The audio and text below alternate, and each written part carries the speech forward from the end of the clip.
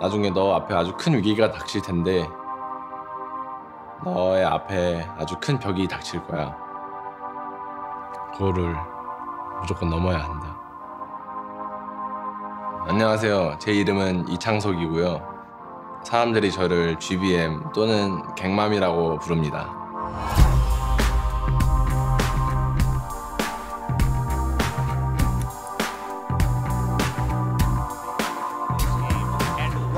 I bet he is wishing so hard he had plans Yeah, against no the kidding. against the season. Oops, oops. A little bit, but 당연히 기억에 남을 수 있다고 봐요. 갱만 선수한테는 완전 신인 때 어떻게 보면 본인의 데뷔 때 모습이었기 때문에 더 아쉬움도 있겠죠. 저 같은 경우는 또 은퇴 때 그런 경기였기 때문에 어느 정도 기억에 더 남는 거고요. 이제 MVP 오전과의 대결에서 이제 저희가 이기면은 MVP 오존이 롤드컵을 못 가게 되는 상황이었고 저희가 지면은 MVP 오존이 롤드컵을 직행하는 상황이었어요. 네, 그래서 저희는 이제 좀 고춧가루를 뿌리자. 일단 그때 당시 게임은 이제 3, 4위전이었고요. 저는 아무무로 인생 게임을 하고 있었습니다. 그러니까 저는 진짜 그냥 대단했어요. 그 아무무는 제 생각에 역대급 제 아무무 플레이 중 top 3 안에 들어가는 플레이를 하고 있었습니다. 전 아주 만족스러웠어요, 그 게임. 갱맘 선수는 이제 미드 제드. 그때 당시에 제드 대장군으로 불리던 다데 선수와 제드 제드 말라인 블라인드 매치였어요. 그래서 실제로 갱맘 선수가 많이 힘들어하고 있던 게임이었어요. 아, 다데 너무 잘해요. 계속 이 얘기를 하는 상황이었는데 근데 어쨌든 저희가 다른 라인에서 너무 잘 풀려서 갱맘 선수만 밀리는 와중에 우리가 분위기는 훨씬 좋았어요.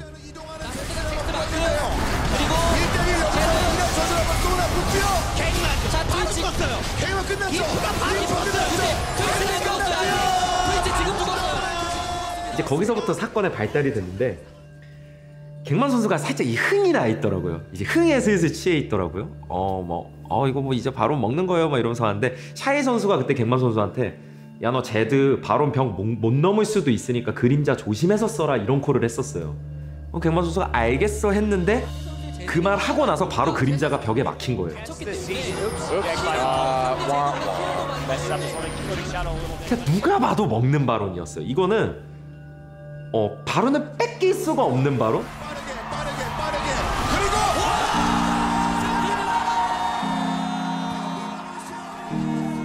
정말 큰 교훈이 됐을 거예요.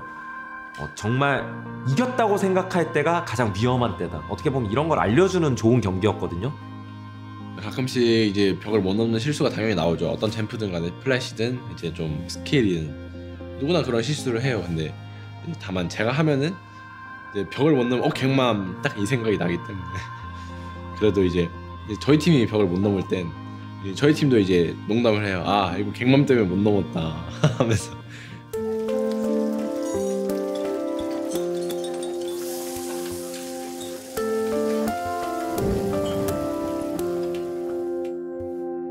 부모님이 게임을 더욱 관대하셨기에 제가 계속 할 수 있었던 원동력이 되지 않았을까 싶습니다. 네. 이제 여러 게임을 하다 보니까 컴퓨터가 되게 좋고 게임이 되게 재밌어서 했는데 이제 엄마가 그거를 너무 좋아하니까 제가 공부도 안 하고 게임만 하니까 되게 제가 컴퓨터 할 때마다 들어와서 그만하라고 말씀하셨죠 이제. 예, 저는 밤에 이렇게 들어와서 보면 새벽 3시, 4시까지 게임을 하고 있습니다. 그럼 야 빨리 자라 해. 그리고 이제 그거 들어갑니다. 근데 이 사람은 그게 아니에요. 씩씩거리고 가가지고 있잖아요. 가서 컨트롤러 확 빼버리는 거예요. 그래서 아마 거기서 갱맘이 거기서 탄생되지 않았는가. 막 코드도 감추고 그리고 모니터도 감추고 출근한 적도 있고 근데 그 코드를 사다가 또 하더라고요. 아, 근데 모니터는 살 수가 없으니까 이제 엄마 모니터 어디 있어요? 말. 어, 어? 그 그럴 정도로 그러니까 제가 걔한테는 아 자기 꿈은 이건데 엄마가 자꾸 막 방해를 하는 거잖아요. 처음에는 이제 아이디를 지을 때 뭔가 재밌게 지으면 재밌겠다라고 사람들에게 웃음을 주지 않을까 해서 처음에는 이제 생각 생각하고 있던 게 이제 마마 크리티컬이었는데 그러니까 한국에서 이제 엄크 떴다 그러잖아요. 그래서 얘들아 엄크 떴다 나, 나간다 이런 식으로 말하는데 mama critical은 뭔가 없어 보여요. 그래서 이제 뭔가 롤의 언어랑 좀 이렇게 융합시켜서 좀 재밌는 언어를 만들지 않을까 해서 수동태를 써가지고 ganked by mom이라고 해서 어, 나쁘지 않은데 만약에 그러니까 창석이가 갱맘으로 안 짓고 그냥 온순하게 지- 진 거보다는 훨씬 더 좋다고 생각을 해요. 왜냐하면 그 갱맘이란 단어 안에 걔가 프로게이머가 되기까지의 그런 과정이 들어있다고 생각해요. 그 단어 안에. 그래서 괜찮은 것 같아요.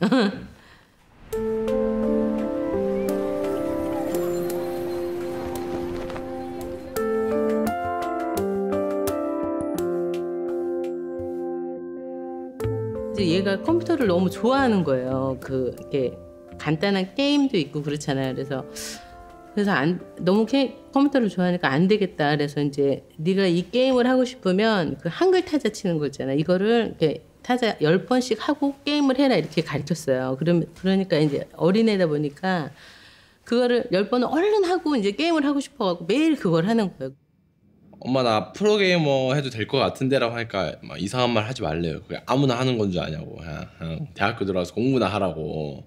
그래서 엄마는 좀 그런 식으로 저를 좀 부정적으로 보셨지만 제가 이제 게임을 하면서 이제 어떤 게임을 해도 항상 전국에서 랭크권이었고 그래서 엄마한테 그런 거 막 자랑하고 그랬는데 엄마는 관심도 없어요. 공부나 하라고.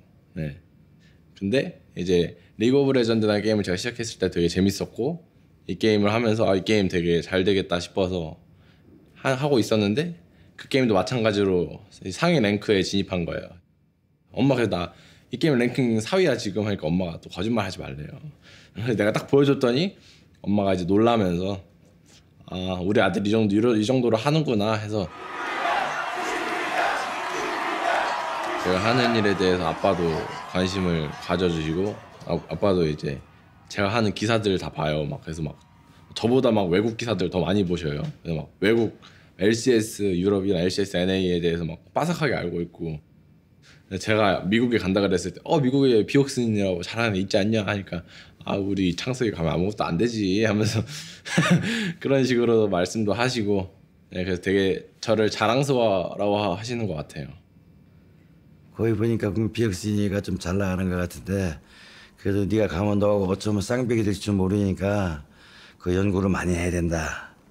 그리고 비혁신도 보니까 스웨덴인가 노르웨이인가 그쪽에서 온 것 같더라고요. 그래서 보니까 그, 그래서 비혁신하고 좀 교류를 좀 해라 했더니 교류를 허무행해 우리나라도 와서 같이 게임도 해보고 했는데 그래서 아마 지금은 잘 지내고 있을 거야 아마 비혁신하고도.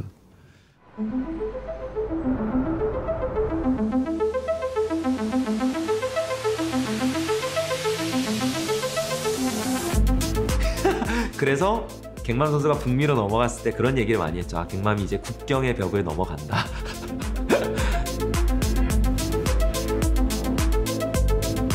갱맘 선수는 많은 벽들을 만났어요 이미. 그런데 하나하나 좀 돌아가는 한이 있더라도 결국엔 넘어가고 있어요. 그게 정말 중요하다고 보고 이제는 가장 큰 또 벽이라고 볼 수도 있는 국- 국- 국경의 벽을 넘어갔거든요. 문화 차이도 있을 거고 당연히 언어 차이도 있고 정말 많은 부분이 힘들 거예요. 그런데 이 벽을 또 넘을 수 있다면 갱맘 선수는 또 더 멋지고 최고의 선수로 거듭나지 않을까 이런 생각 드네요.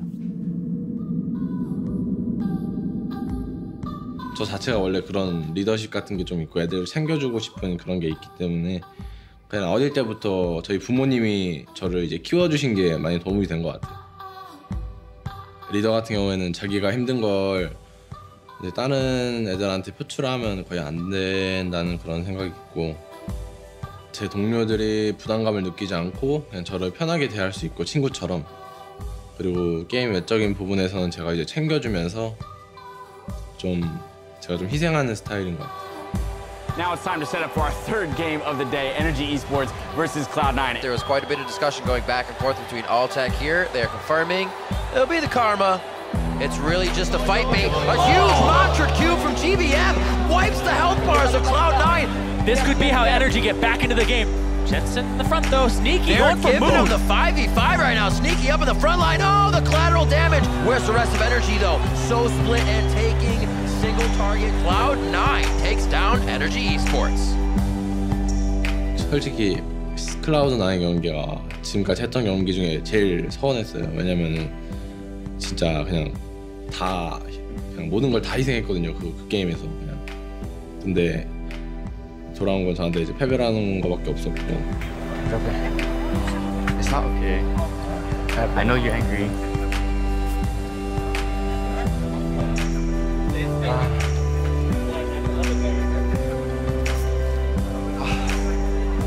Happened? I'm sorry. Next will be better. 뭐 지금도 가끔씩 뭐 벽 못 넘긴 하는데 가끔씩 저 때문에 저희 팀이 벽을 못 넘나 싶을 정도로 이제 벽을 넘는다는 의미가 어떻게 보면 되게 상징적인 의미잖아요. 원래 그 벽이라는 의미의 생성은 결국 뭐 이제 플레이 그 바론 스틱 그때 1화에서 나, 나왔지만 그 이후에는 되게 갱만 선수의 뭔가 성장기와도 같이 연결이 되는 느낌이 있었어요. 만약 이번에 벽을 설령 못 넘는다 그래도 한번 다시 시도할 수도 있는 거고 돌아서 갈 수도 있는 거고 그거는 예 포기하지 않는 게 가장 중요하다고 봐요. 이제 못했던 시절에는 항상 그 생각을 했어요. 그 다른 프로게이머들도 이제 못했던 시절이 있고 다 이제 이걸 견디고 올라갔다라고 생각을 해서 나도 그냥 꾸준히 열심히 노력하다 보면은 경험이 쌓이고 분명히 나한테 좋은 기회가 올 거다라고 느꼈기 때문에 계속 할 수 있었던 것 같아요.